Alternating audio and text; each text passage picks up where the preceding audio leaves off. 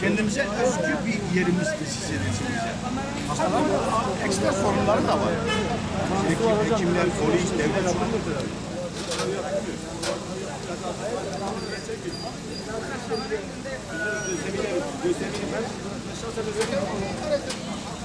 hayır, hayır, hayır. Aynı.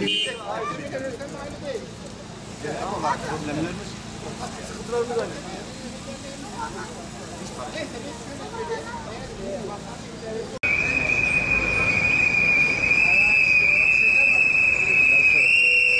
Lütfen Sarasemi'ye ilginç büyük. Lütfen Sarasemi'yi araştırın. Sizlere bugün rahatsızlık verdiksek özür dileriz. Bizler gayemiz sizlere rahatsızlık vermek değil. Urfa'yı işgal etmek değil. Bizler cam çerçeve kıran bir dernek değiliz. Bizler Talasemi Derneği hayatımızın pahasına mücadelesini veren bir derneğiz. Şanlıurfa'mızda 2004 yılında 48 hastamız mevcut iken bugün 617 hastamız mevcut. Lösemi hastamız 107 tane.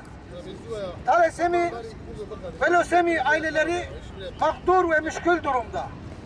Bu geçen süre zarflarında her gün bir can bedelini ödüyoruz. Biz bu bedeli taksitle değil, peşin ödemeye geldik. İşte istediğinizi alın. İşte istediğinizi emelinize doğru asın, kesin. Ama bu çözümse yapın bunu. Başbakan hitap ediyor ya ergenokomcular diyordu. O zaman bile hematoloji çocuk ana bilim dalı vardı. Ve kapanmasını istediler. Kapanmadan bir yıl önce biz Harran Üniversitesi'nin kapanmasını karşı olduğumuzu ve bu kapanırsa birçok can ödeyeceğimizi itiraf ettik. Ama netekim çirkin bir siyaset uslupla ailelerimiz müsterih olsun. Urfa halkı müsterih olsun dediler. Biz kapatmayız dediler. Ama kapattılar. Sağlık Bakanlığı göndermiş olduğu yazı Harran Üniversitesi'ne üç ay kaldı. Üç ay masada. Bölge kan bankacılığı için. Umursamadılar. Umursamadılar ve kan bankamız kapandı. Şu anda kanımız nereden geliyor biliyor musunuz? Antep'ten geliyor. Talasemi hasta sayısını biliyor musunuz? 72. Nüfus sayısı Urfa'ya nazaran kaçtır? Milletvekili sandalye sayısı kaç? Urfa'nın kaç? Bunu siz izah edin. Bunu siz değerlendirin. Onun için bu konuda eğer bir can bedeli ödeniyorsa ve almak isteniyorsa biz buna varız. Gelsinler borçlular. Biz borçlu kalmak istemiyoruz Urfa'da. Gelsin herkes borcunu alsın. Biz kefenimizle geldik. Kefenimizle geldik. Çünkü bunlar bu hastalığa tanıları konulduğu günden itibaren biz bu kefeni hazırladık. Hazırladık. Çünkü Şanlıurfa enkaz bir şehir sağlık alanında biliyor musun? Enkaz. Nasıl bir enkaz biliyor musun? Birçok dal yok. Ailenizin ferdinde sıcak su bile dökülürse yanık ünitesi bile yok bir Urfa. 2 milyon nüfusu olan bir Şanlıurfa. Buna ne kadar duyarlı kalacağız biliyor musun? Ya da siz. Bu ovalın altında kimler kalabilir? Ve var olan kurumlar biliyor musunuz? Bir yıldır fiilen gezmediğim kurum kalmadı sağlık alanında. Bakın sadece sağlık alanına hitap ediyoruz. Maalesef kurum müdürleri seyir sefadalar. Güzel misafirleri var ve özel toplantıdalar. Vatandaşla barışmamışlar.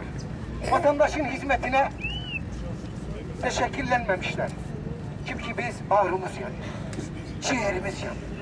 Biz bunun için buradayız.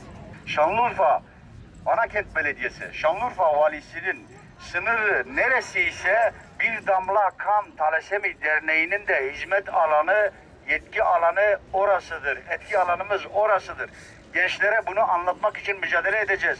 Devleti özellikle basını, basından özellikle ricamız ve istirhamımız. Lütfen bu insani konuya önem gösterin. Biz vaktaki derneğimizi kurup tüzüğümüzü içeriye verdik. 252 bin küsür dernekten direkt 8. sıraya yerleştirildik İçişleri Bakanlığı tarafından. Koskoca İçişleri Bakanlığı bizim tüzüğümüzü okudu, algıladı. Sizler de lütfen bilin ki biz samimiyiz, ciddiyiz. Can havliyle kurulduk. Problemlerimiz çok. Kışın hastanede, hastane koridorlarında uyuyoruz.